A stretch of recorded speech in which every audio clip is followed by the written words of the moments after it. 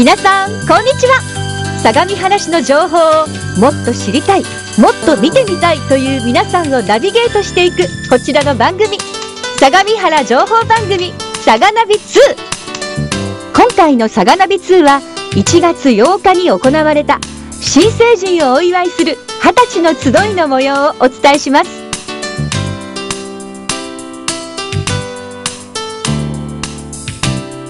市内で新しく成人を迎える人は7300人余り。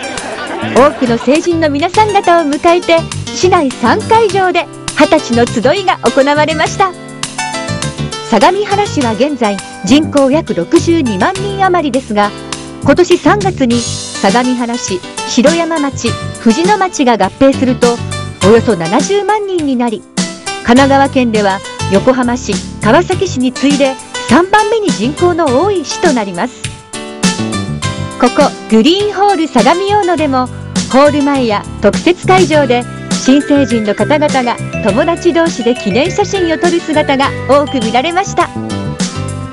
また会場内には両親やお世話になった方々への成人の日レタックスコーナーなども設けられていました、えー、ここまでいろんな人がこう私を育ててくれてありがとうございます。という感謝の気持ちでいっぱいです。責任出てきたんでしっかり行動しないといけないと思ってます。やっぱり今までやってきたことを生かしてこれから先もっとできることも増えるので頑張っていこうと思います。そうですね。あまり二十歳になったといってもなんかそんなに実感は湧かないんですけどやっぱりこういう二十歳の日を境にちょっとやっぱり自立していきたいなと思います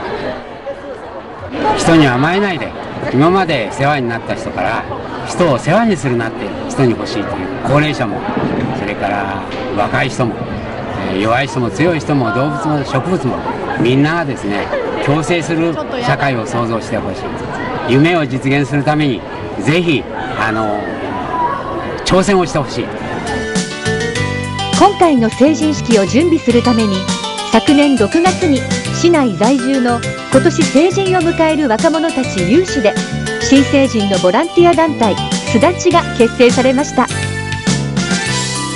このすだちという名前はひな鳥が巣立つように自分たちも自立精神を養っていこうという意味で付けられました。今回すだちの皆さんが企画したのは二十歳の琴の葉。新成人から寄せられた過去現在未来への思いが会場内で発表されました。二十歳の琴の葉って企画自体も決めるまでにすごい時間かかってみんなでいろんなアイデアを出したんですけどぶつかってでもそれでもやっと決まってそういうイベントが今回できることがすごい嬉しいです。昨日より今日今日より明日みんなを笑顔にできるように素直にまっすぐ僕らしく伝えたい気持ちはしっかり伝えていきたい。だから僕は歩み続ける。これは僕の物語だから。大島在住の匿名希望さんからのメッセージでした。私が二十歳になったことを最も伝えたいのは私の祖父です。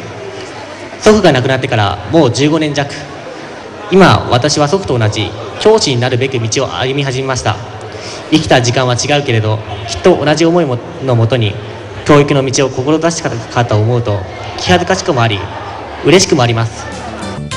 式典では来賓の方々による新成人へのメッセージが伝えられていました。そして式典の最後はすだちの皆さん方も出演した映画「ここで二十歳」が上映されましたっ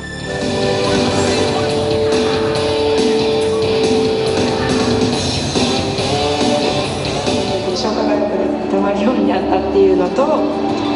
あとやっぱりこう二十歳になったからっていうので自分で結構物事にセーブをかけたりとかすること多くなりましたね、はい、さあいかがだったでしょうか？相模原市の情報をお届けする「さがナビ2」は毎月1日と15日に更新します。次回の更新は2月15日です。お楽しみに。